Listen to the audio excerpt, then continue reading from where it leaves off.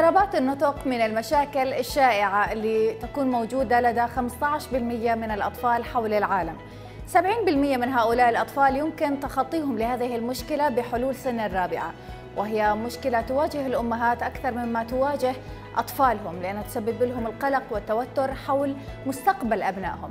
للحديث أكثر عن هذا الموضوع ضيفنا لليوم. في حقك تعرف الدكتور علاء زايد أخصائي الطب النفسي والإدمان. حياك الله معنا دكتور. أهلا وسهلا فيكي ويسعدك وتشرفت بإني أكون معكم في البرنامج. طول عمرك دكتور. دكتور بداية خلينا نتحدث عن اضطرابات النطق.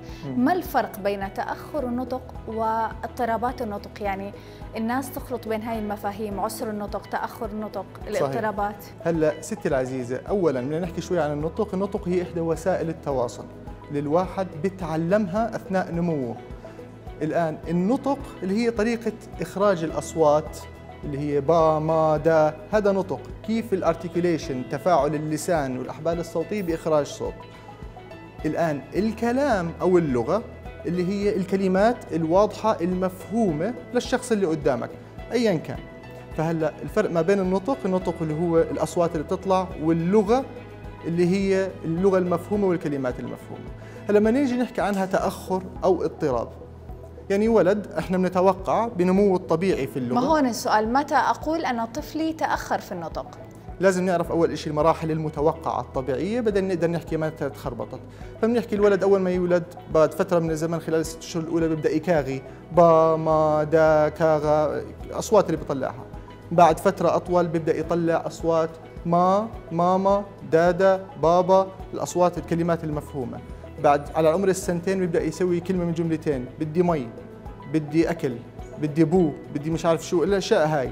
على عمر الثلاث سنين تبدأ الجمل تتحول أكثر وبعدين بتصير جمل كاملة ومعقدة وممكن يلقي قصص على عمر الاربع خمس سنين. الآن إذا المراحل هاي تخربطت. ببدأ أفكر إنه في عندي مشكلة معينة، طفل أنا بتوقع منه على عمر السنتين وركز على كلمة بتوقع تحت 100 خط هاي. بتوقع منه على عمر السنتين يعطيني جملة من كلمتين بس مش عم بيعطيني. مش عم بيحكي معي، بيحكي مي. ممكن يكون اضطراب ممكن يكون عفوا ممكن يكون تأخر نطق وممكن ما يكونش. لأنه بنعتمدش على تأخر نطق لأنه والله ما حكاش. لازم يكون في عوامل أخرى محيطة ثانية. ما هي هاي العوامل أو الأعراض اللي ممكن بناء عليها نحكم أنه الطفل تأخر في النطق؟ مم. إنه ما يقدرش يتواصل مع الاطراف مع الأشخاص اللي حواليه باللغات ال- أو بالطرق التواصل الغير لفظية. يعني بالأطفال ممكن ما يعرفش يحكي بس بيمسكك من أواعيك بجرك بيقول لك بدي هون بأشر لك شغلة. بيمسكك من أواعيك بوديك على مكان معين أو بجيب لعبة بأشر لك إنه لعبني فيها. بتفاعل معك.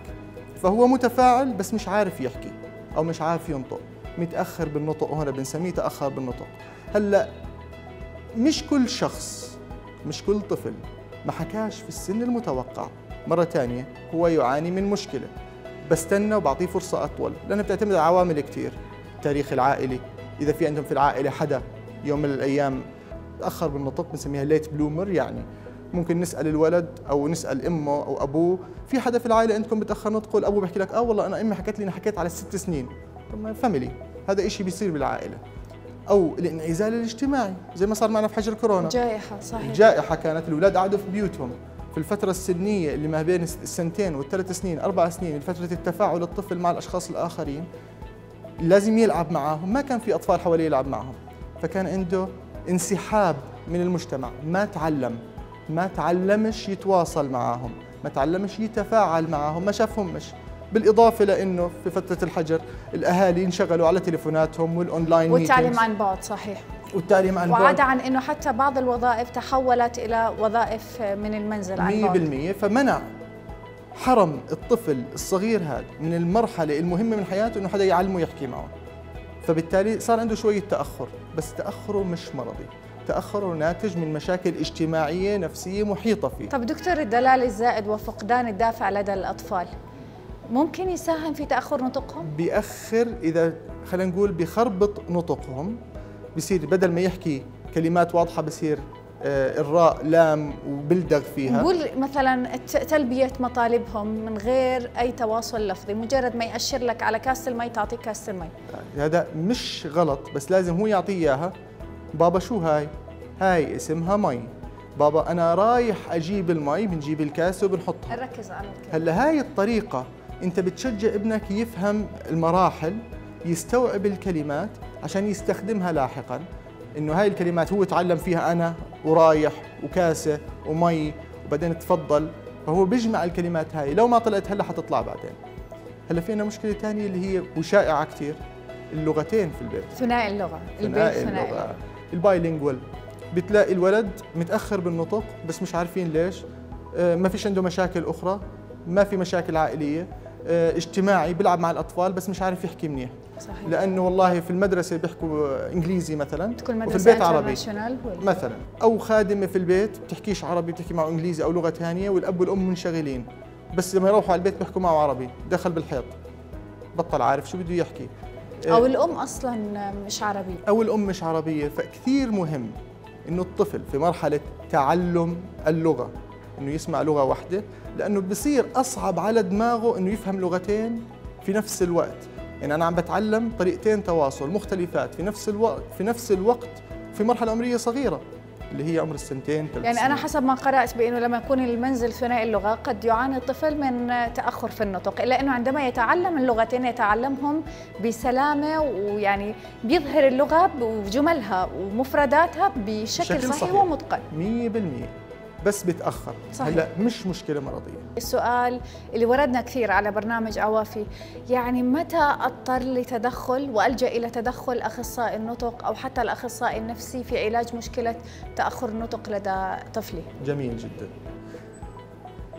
إذا نظرنا إلى الأسباب بنعرف متى نراجع الطب النفسي أو أخصائي النطق. مبدئيا أنا عشان أتعلم شغلة لازم أفهمها لازم أستوعبها فلازم أسمع منيح فقبل ما يوصل الطب النفسي أو الأخصائي النفسي لازم يكون انعمل له فحص سمع وتخطيط سمع عشان يتقيم سمعه منيح لأنه ممكن يكون ما بيستوعبش.